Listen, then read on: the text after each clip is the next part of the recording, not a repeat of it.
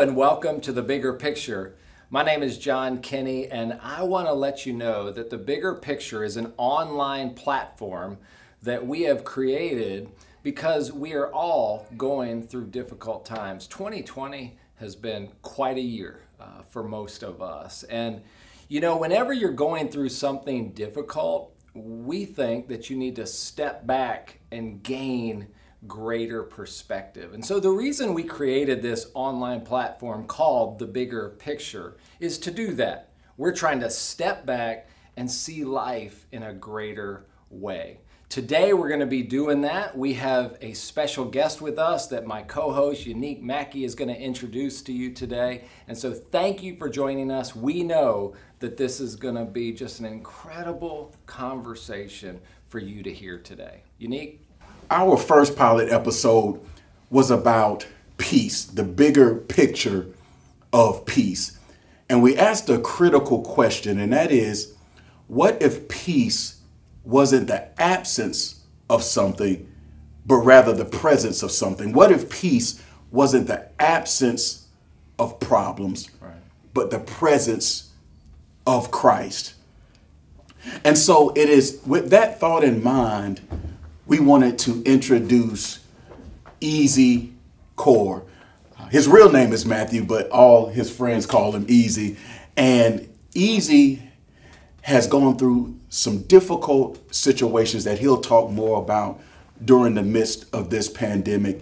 And Easy has exemplified what it means to have peace. And so I want to introduce to you a great, great friend of, of mine. He has gone through so much over the last few months.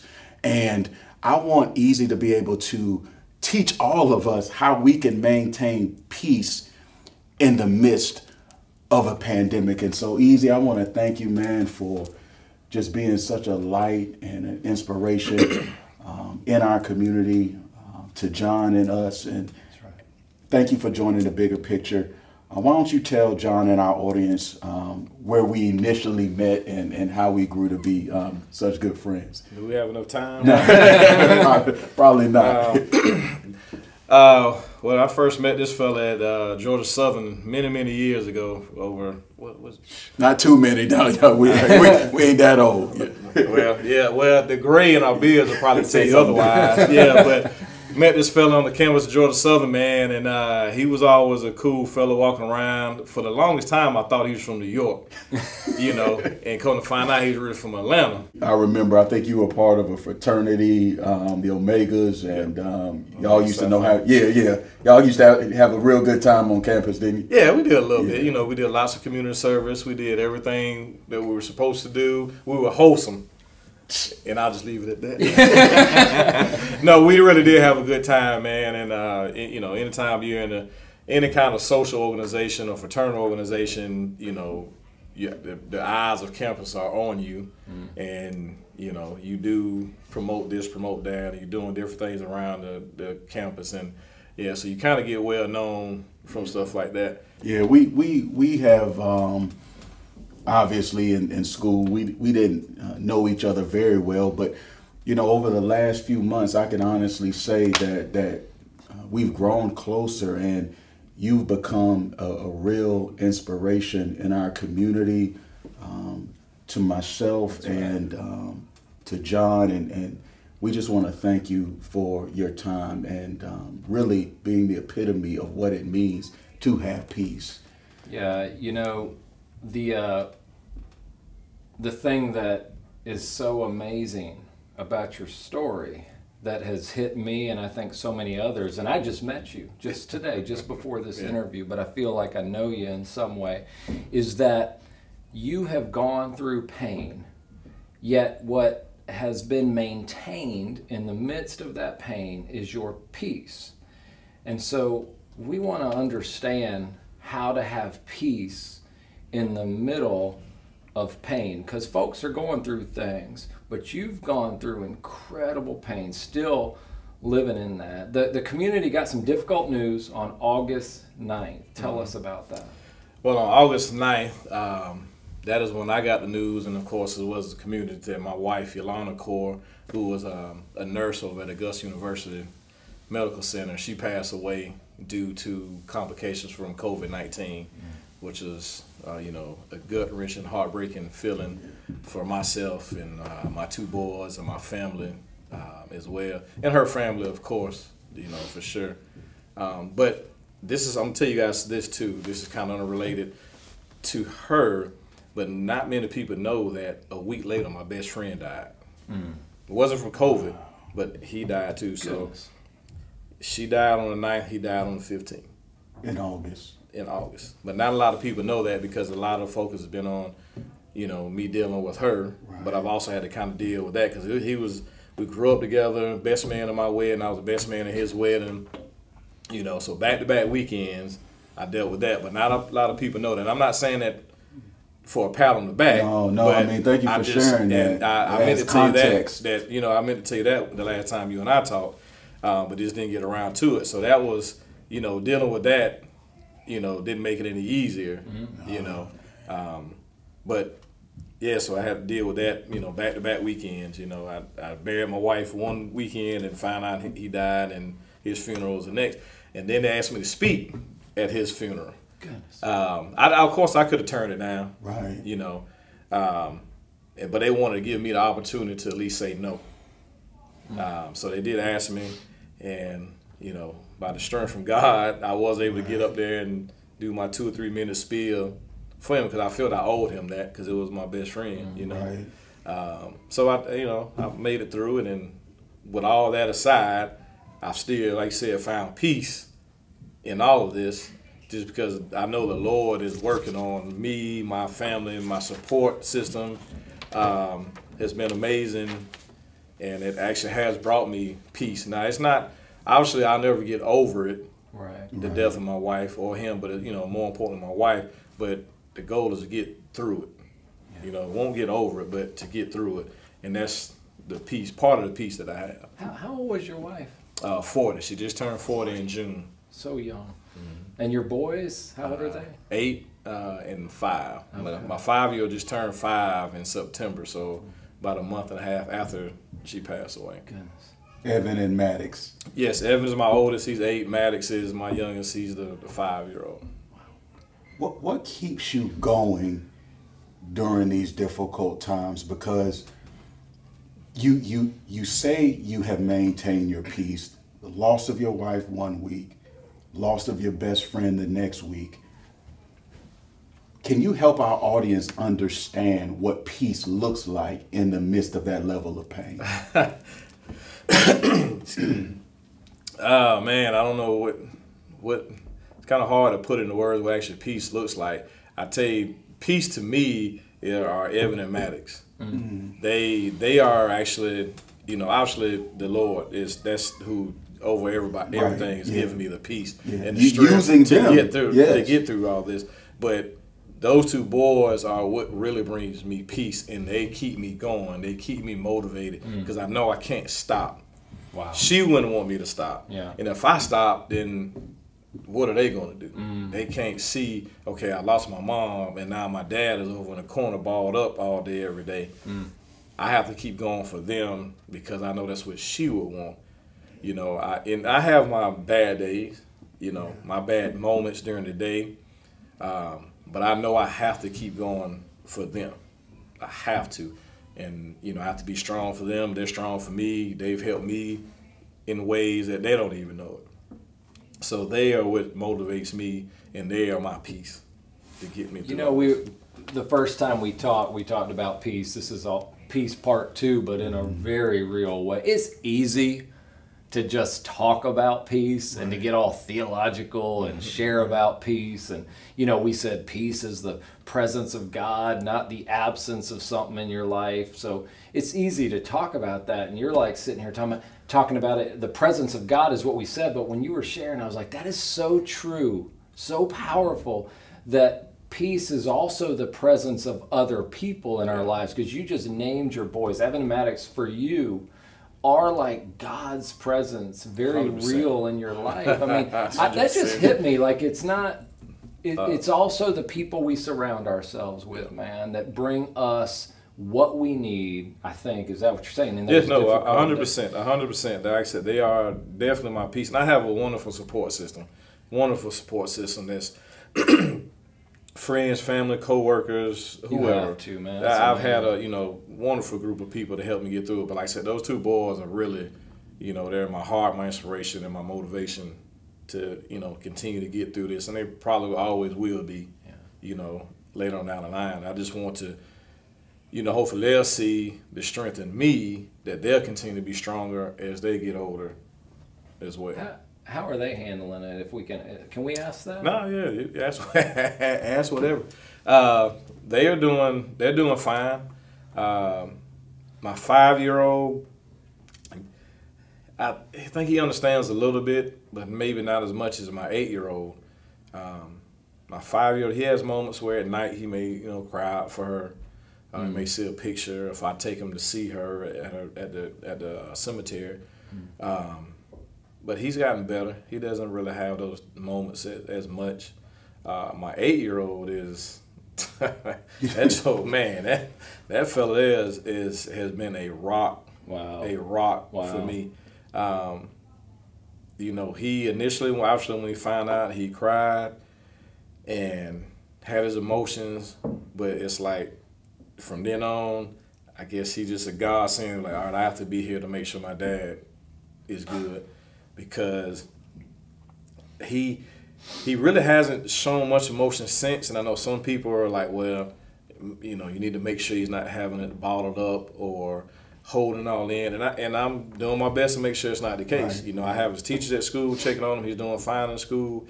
I talk to him on a regular. Um, hey, if you ever need to talk, let me know. Let's talk, whatever the case may be. But if if there's a time I'm crying, you know, I feel an arm or hand on my back, on my shoulder. Hey, hey, Dad, you okay? Are you okay? Or why are you crying? And I tell him he'll come hug me. Uh, when Maddox is having a moment, he's hugged him and told him it'll be okay. He said, "Hey, Dad, he can come get in the bed with you if he needs to." Wow. uh, one story in particular. Uh,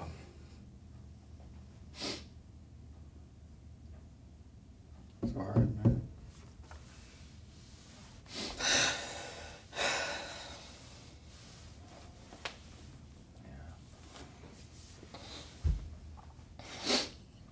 so my uh, September 25th would have been my wife and our 10th, 10th year anniversary. Goodness.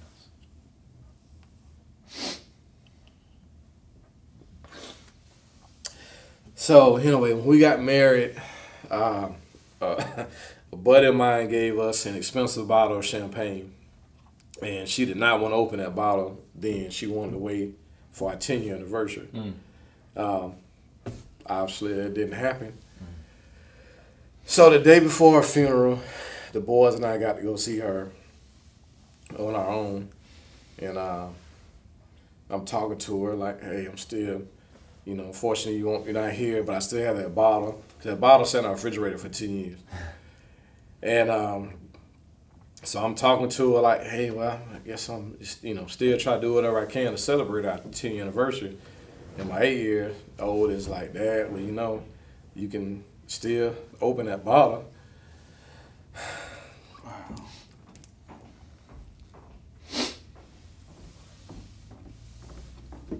Um, you just get a picture of mom, put it next to you. Wow. And you can still open that bottle and celebrate.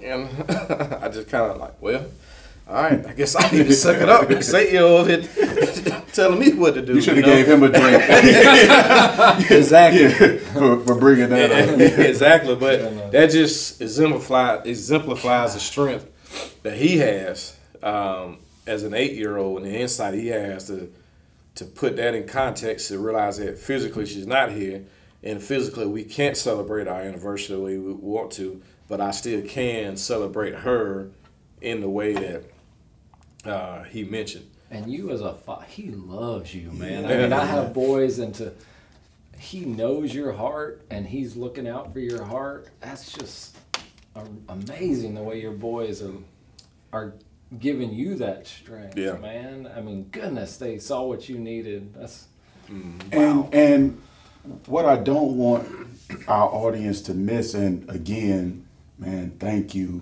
Oh yeah. for sharing this. Um, you, your tears are going to strengthen That's right.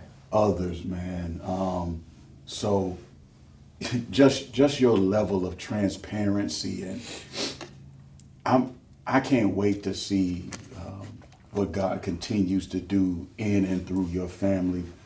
And I want to make sure we don't miss this because God knows what we're going to go through before we do. And when and when the Bible says that he will supply all of your needs according to his riches and glory, those two boys mm.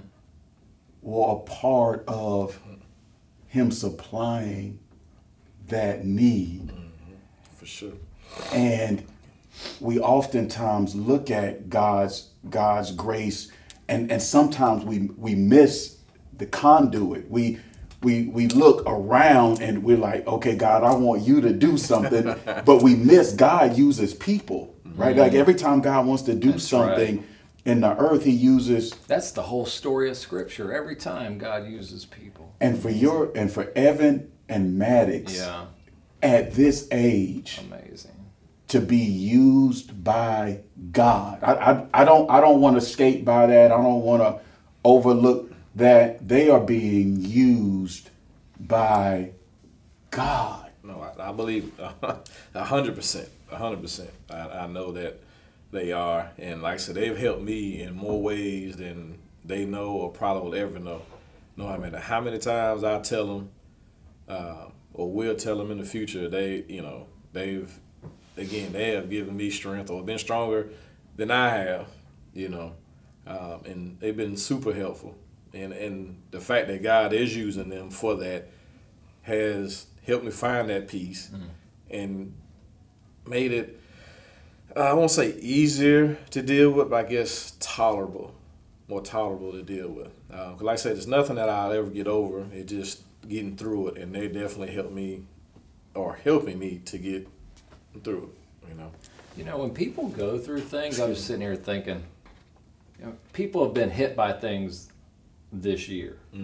Most people not to the level of what you've experienced. So our listeners are hearing this, and you know, people start, comp- well, gosh, I shouldn't be uh, complaining or this or that when somebody's gone through that. You know, everybody goes through things in different ways. But what's interesting to me is that when pain hits a person, when suffering hits a person, sometimes they go in the opposite direction of what you're saying. Yeah.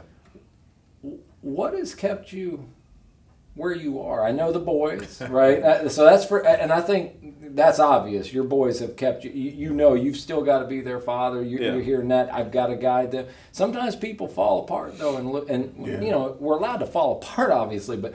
But you got to keep going for them, and that. What's kept you where you are, and not going the other direction? People go in really Yeah, bad yeah, yeah. directions No, no. sometimes. Everybody doesn't respond the way that you responded. Uh, you know, and- and that's the thing. You know, I- I'll answer your question in a second. But you know, you saying that everybody else respond to what I have. You know, you said I'm an inspiration, and I'm, I, and I tell you, if I, I don't know how I'm an inspiration. I'm not doing anything extraordinary. I'm just trying to be I would argue with that, but that's okay. I mean, I'm just trying to be myself and be the best man and father I can to my kids. It's not like I'm purposely going out and saying, "All right, this is the blueprint of what I'm doing." Mm-hmm. Right. in the in these in you know during these times. Um, but to answer your question, hundred percent, I have to give all the credit to God. All the credit has to go to God, hundred percent, a thousand percent, because obviously without Him, without my faith in Him, I may have veered mm-hmm. off the the beaten path. You know, I may have went to a dark corner. You know, but He has helped me mm. do this. He's put people in my life to help me get through this. Um, it's funny that you say that, and I'm answering that question. Is when my before my wife passed, while she was in the hospital sick, it were I. It seemed like you know. She had people that were taking care of her on the inside because I couldn't go see her, but they were kind of reporting to me, and I had people. A lot of people checked on me on the on the outside, but there were a certain group of people that checked on me constantly, religiously, and and it hit me one day. I'm like, man, the Lord has angels on the inside helping mm. her, mm. and He's appointed these angels to me. It was five of them, five people, and they all each served a different purpose mm. in my life at that time to help me get through that. This is before she passed. This is why she when she was in getting sick, and those same people are still helping me and with me and help guide me through even afterwards. Um, because once you know, you know, typically when somebody passes away, it gets quiet. Yeah. You know, you have a thousand people checking on you prior to, but once they cast the casket closed and they put the dirt over it, everybody mm-hmm. goes back to their normal life. Mm-hmm. But not me. Right. You know, so it, you know, it, it, gets a little quiet then. But hundred percent God has given me the strength. I know it comes from Him, and then, like I said, He won't let me ball up he's not gonna let me. Hmm. You know, and I'm probably jumping the gun, but that kind of it kind of puts me in the mind of the Jeremiah 29 11 verse, mm-hmm. you know, mm-hmm. and which my wife so loved. Mm. She had it on her board wow. um, in her office that, you know, long as you trust and believe pretty much mm-hmm. in God's work, yeah. in his words, you know, he's got a, he's going to provide for you. Mm. He's going to provide a future for you. That's right. You just have to stick to his script or believe and have faith, and he'll provide for you. I know the plans that I have for you. Yeah. I, I want to make sure our audience doesn't miss this because I want to be extremely practical because I want people who are suffering to walk away with some clear next steps. When you're suffering through immense pain, make sure you focus on what you do have yeah. versus what you don't. And the reason I say that is because it's clear that Easy has put his energy into what God has blessed him with versus being angry about what he could feel God has taken away. And the reason that's so key for me, Easy, is because you you know my story. I lost both of my parents to AIDS. Mm-hmm. And when when when when I, I felt like God took my parents away, and I responded very negatively mm-hmm. when there were some things I could have been more receiving of and thankful for, but I didn't have that attitude initially, and I had to go through more pain because of that. And so again, the reason I said I would argue with you that what you're doing isn't extraordinary is because I'm, I'm speaking first, and, and, and I'm, I'm one of the um, the pastors at the table.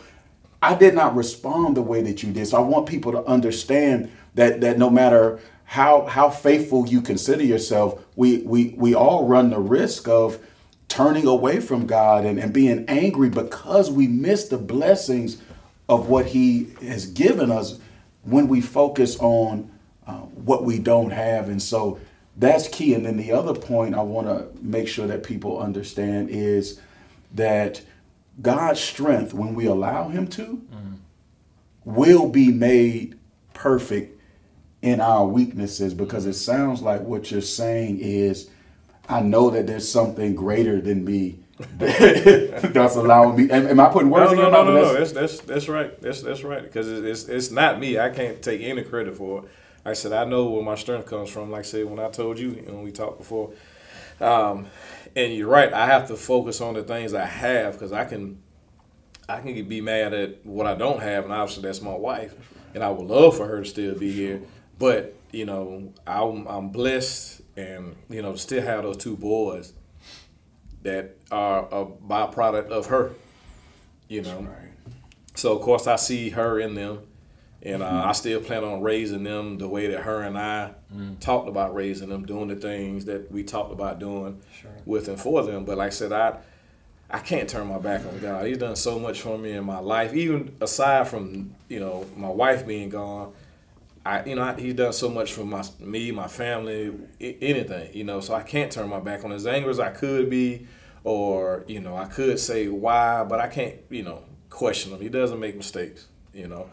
Um, and and I honestly haven't been mad with him during this this situation. You know, I, have talked to other people, you know, my that are close to us, I've other family members who are, you know, I mean, I know God doesn't make mistakes, but I think He made a mistake with this one. I'm like, I see, I see what you're saying. Mm-hmm. I understand that, but He doesn't make mistakes, and everything happens for a reason. You know, um, and I knew, you know, and I know He knows when we're gonna die. He knows when we're every move we make. He knows it. Then when we got married September 25th, 2010, he knew that we wouldn't make it to 10 years. Mm. The well, the exact 10 year mark, you know. And but I was thankful. I've known her for 18 years. I'm thankful for the time I had with her and got to know her. And, you know, for the two boys that we have, you know. So I'm thankful for that. I think you know? that's why we sit here, you know, I know I'm sitting here going, what would it feel like to sit in your seat? You know, I think most people would say, I don't want to sit in that seat. if we're being honest, yeah, I, I, would, I, wouldn't put this on anybody. but I think, I think what's so amazing to us is your peace. I mean, it, it's like I said, it's easy to preach about right. peace. It's easy to talk about peace. People are going through difficulty. But, I mean, you don't have to be a hero. It's almost like you just have to cling to God is what you're saying, and, yeah. and, and, and the peace that you're experiencing that says in one scripture in Philippians, it surpasses human understanding. Mm-hmm. And sometimes even I'm sitting here listening to you, I'm like, how you have it? That, that's my right. the, it's not supposed to make I sense. I know, and I'm the preacher and I'm yeah. supposed to know this. But when you talk to somebody, the most incredible people I've ever been around are people who have experienced incredible pain and have peace. I know people who have lost children. I know people who have lost spouses. I know people who have gone through things. I know people who are dying of cancer. I know. And they have their peace. I, I go, I need that. like, and, and, they always tell me it's not a thing, it's a person. So, Easy, you, you commented on a message, Yannik was telling me about this, that he gave, a sermon. And it was 1 Thessalonians 5.18, which says this. Listen to this, y'all.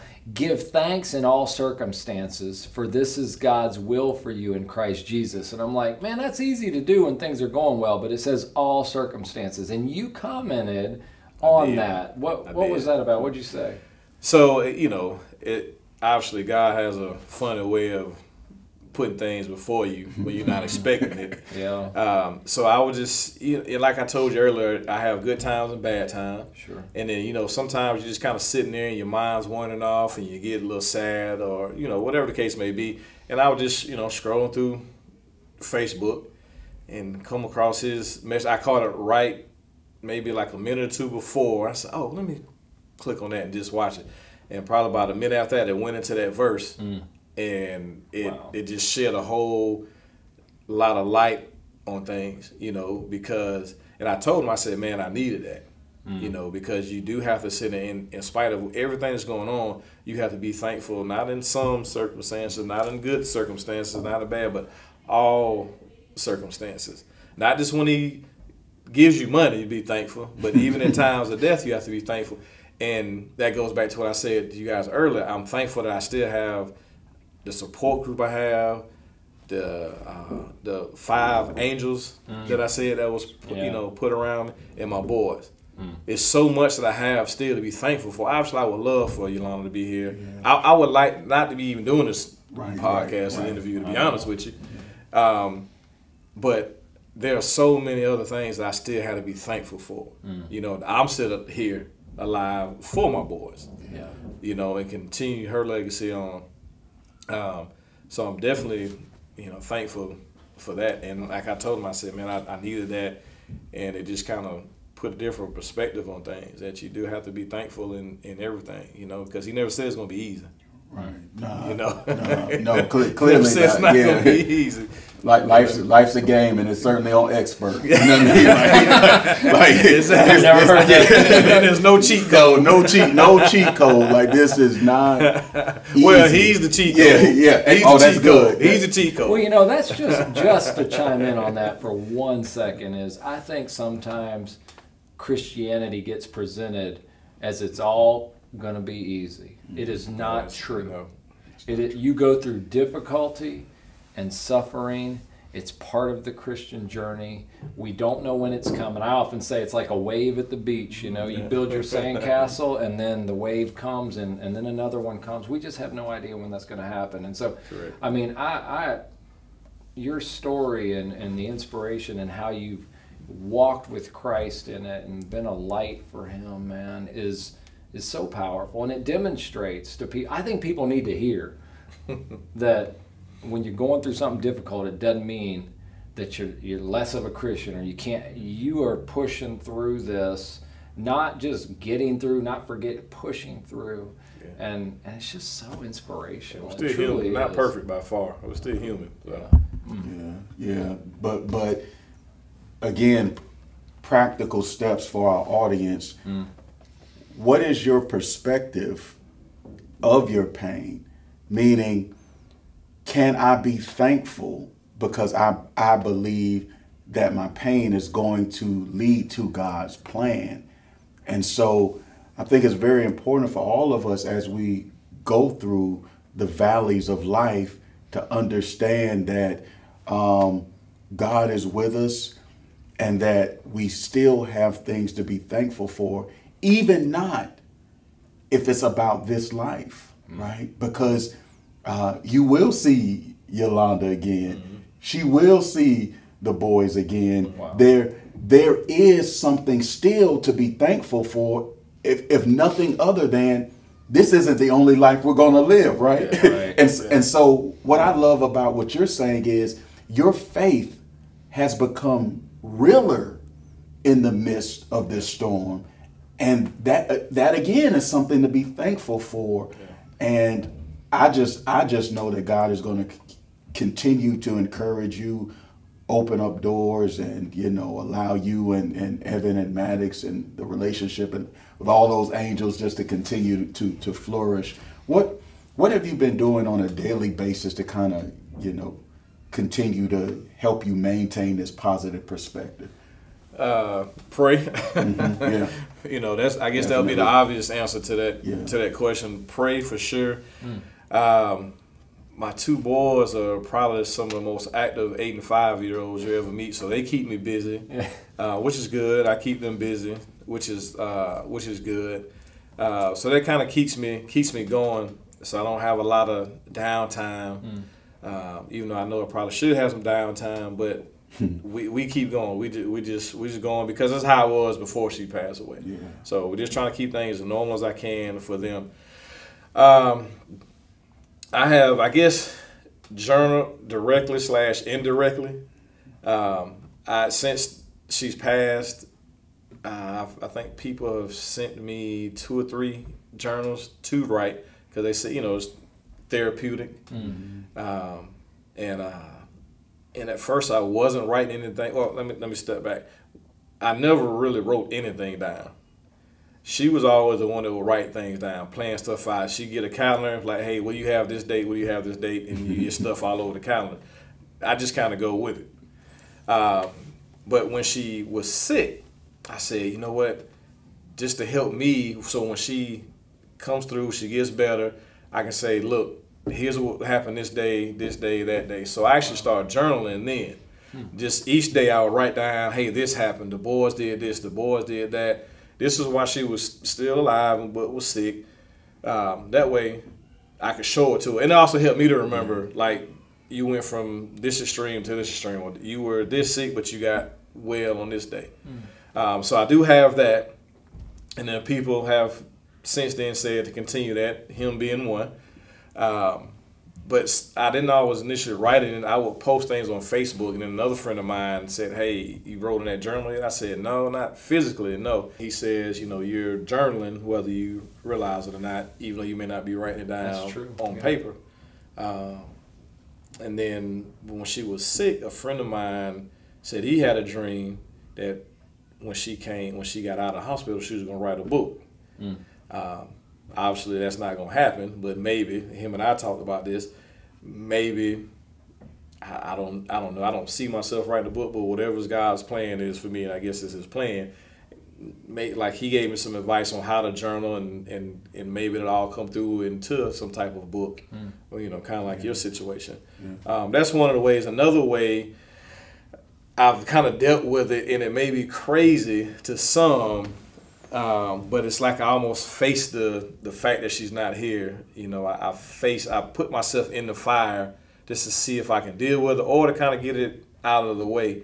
Um, meaning, you know, when most people lose a loved one, they don't want to go into that room or don't want to go back into the house or touch the clothes because everything's going to be left the same way it was before they left, just like our house was. Everything was the way it was when I took her to the hospital. Mm. So when she passed, you know, you just kind of go. I went in there and just said, you know what, I just got to embrace it. She's not here. Let's get this out the way because running from it will not save you. Mm. So I, you know, people won't look at the clothes. They won't go in the drawers. They won't smell the scents. I, mm. I went in there and I guess like a TV, some off TV. You know, I went through the closet, looked at the clothes, touched the clothes, smelled the clothes. You know, I laid across the bed. Wow. You know, I went into the bathroom opened up the drawers where makeup was and you know looked at that stuff you know. But that's the, that was kind of in a sense therapeutic to me not mm-hmm. it may not be the best for everybody else you know because whether they can handle it or not i don't know. But that's i just I always been kind of the one that's all right this is what's going on this is a bad situation i need to throw myself in it. For whatever reason i don't know but it kind of, it helps me it may not help you, it may not help you, but it helps me. I think it's something biblical to that. you know? um, I, I, I, like to call it in, enduring versus exiting. Um, the Bible says that for the joy set before Christ, he endured the cross. And uh, because he endured the cross, he is now sitting um, at the right hand of the Father. So it's something about embracing your pain that will put you in your purpose. Um, Jesus' purpose was to serve at the right hand of God's throne. So he got there through embracing the cross, and that put him in his ultimate position of purpose. Mm. So when I hear you say, you know what, Yannik, is, it may sound crazy, which doing Christian things usually do. you know, yeah. it's nothing that makes sense about um, how we serve God and, and our faith, etc. And so, yeah, it does sound crazy to really immerse yourself in that pain, mm-hmm. but I do think it's something supernatural that happens at that point because, as we said, his strength is made perfect in that weakness. And so, I think that is an opportunity for God to show up even greater and through that push you even further um, into the purposes that He has for you. So yeah. again, I don't I don't care what you say. What you're doing is extraordinary. You know, it's it's super natural. You you you're a natural man. Like you say, I make mistakes. Yannik. I don't I don't have good days every day. But that's not what a Christian lifestyle is. It says right. a righteous man falls seven times, gets up, again. but he gets up again. So mm-hmm. It's it's not about perfection. It's about persistence. And I think I sent you a text, you know, um, if you don't mind me sharing. You know, Easy was saying, you know what, Yannik, I, I just had a bad day, man. You know, some things didn't go the way I planned, and I, and, and just to sum it all up, I was like, man, don't you dare think about beating yourself up, man. Um, you're in, you're enduring. Like things are not gonna go perfect. That's an unrealistic expectation, man um, you running circles around these dads out here, man. Like I said, I, straight up, what I said, I was like, man, I think I'm an excellent father, and you make me feel like crap, bro. Like, like, like please stop sharing, man. But, like, but that's it. Damn, that's not my purpose in this text. You know? Like you make I'm like a deadbeat dad, man. Like, but again, like for you all that are struggling, yeah, it is okay. You're gonna fall. You're gonna make mistakes we're in the middle of a pandemic. Nobody understands what's going on. Nobody went to school for this. Mm. But as long as you get back up, if you don't walk away from this um, with anything else, know that you can get back up. Know that you can endure, and um, God can bring purpose out of your pain. So, I just want to thank you, bro. Yeah, um, thank I you guys for having you. me. Thank you guys for having me. You're amazing, man. I appreciate it. I appreciate such it. Such an inspiration. You know, as we're closing this up, I was thinking about this. There are times, oftentimes actually, at a celebration of life service is what I call it, but you know, sometimes yeah. people say a memorial service, a funeral service. I'll often start by saying, what we feel like right now is crawling up in God's lap, and we want to pound on his chest. and at the same time we want him to just embrace us. And i just kept having that image about you know on the bad days sometimes you just and whether it's anger and some people may be angry at yeah, god. yeah. I, I, like to say to people it's okay it's to he can take it. Pound on his chest. If you need to ask the why question ask the why question all that. But then let god embrace you. And that can't be said in a typical sermon really without mm-hmm. the reality of what you've seen here. I mean, right. you are seeing right. a man right. who has let God embrace him in the most difficult pain. So thank you for sharing your no story. Problem. Thank you for having me. I'm glad I was able to. Yeah. And we want to we want to be able to support um, you. I, I, know that um, you and the boys, you all um, have needs. Um, you're doing an excellent job of, of, of, continuing to push and provide for them, but still, um, if there is anybody that would like to support, uh, we do have a GoFundMe set up um, for Easy and his two boys, and so that information will be on your screens. Uh, please feel free to, to support him and, and his family as he continues to uh, turn his adversity into purpose. Thank you. Yeah. Thank you. Thank you. Appreciate you being here. Friends, as we close this out, I, I just want us to remember that peace is possible and really probable in your life if you will focus on the presence of God rather than always the problem. And we've seen that in a very real way today. So, our next episode is going to air. We are airing the bigger picture episodes on the first Wednesday of each month. So the next one will be December 2nd, but I don't want to push there too quickly except to tell you it's coming. And then we would really love it if you would share this story with others. So share it through the media and the platforms that we have. Tell your friends.